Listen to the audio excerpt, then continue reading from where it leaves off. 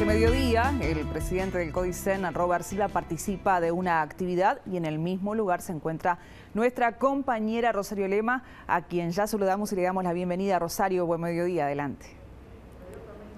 Buen mediodía, Rosario. Si en estos momentos ustedes van a poder observar, se está procediendo precisamente a ese acto que tú señalabas, aquí en el, en el IPA, donde se está inaugurando un mural del artista José Galino, a quien fuera el primer director del Instituto de Profesores Artigas, Antonio Grompone. En estos momentos, bueno, hace uso de la palabra, ustedes pueden observar, un familiar precisamente de Grompone. Están presentes las principales autoridades de la educación, se encuentra el presidente del Codicen, Robert Silva, también el también las autoridades de secundaria.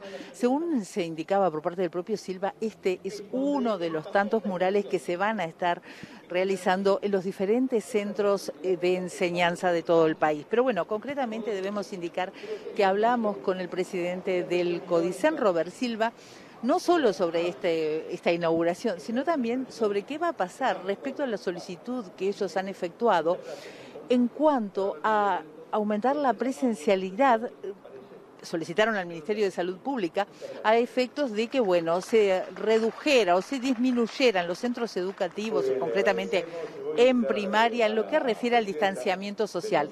En estos momentos, decía Silva, hay un distanciamiento de un metro entre los alumnos, pero bueno, la intención es que sea menor y que de esa manera puedan retornar la presencialidad total a todos los centros educativos. No obstante ello, Silva aclaró que en este momento el más del 93% de las escuelas ya tienen presencialidad completa.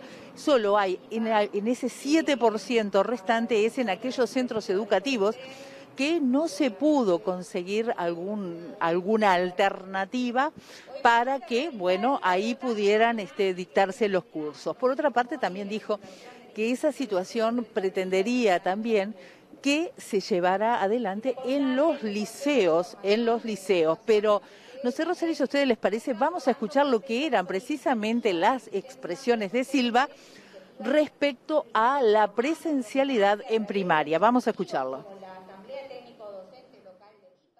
Nosotros este, entendemos fundamental seguir en diálogo, en sintonía con el Ministerio de Salud Pública.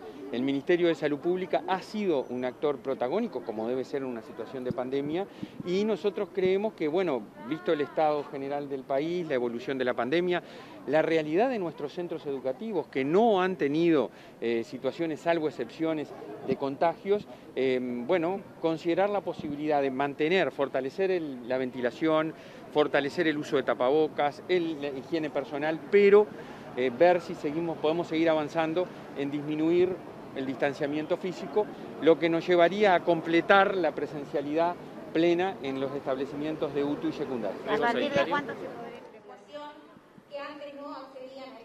Bueno, ahí teníamos entonces lo que eran las expresiones de Silva respecto a la presencialidad en los centros educativos, que ustedes ven, Rosario, es alto el nivel de presencialidad en las escuelas. Bueno, respecto a los liceos, como les estaba indicando anteriormente, Silva decía que la presencialidad plena alcanza al 60% de los centros educativos. De todos modos, él aclara que, bueno, ahora están aguardando lo que va a ser la respuesta de las autoridades del Ministerio de Salud Pública. Por otra parte, Silva también hizo referencia a qué va a pasar con las vacaciones o el asueto que siempre se da en el mes de septiembre.